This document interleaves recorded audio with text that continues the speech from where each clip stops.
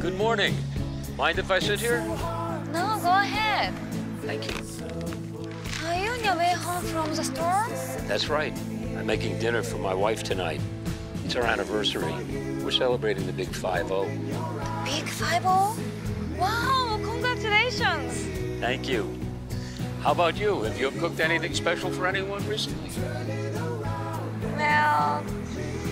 I cooked for my father for his birthday. I made his favorite. Ah, lucky guy. I'm sure it made his day.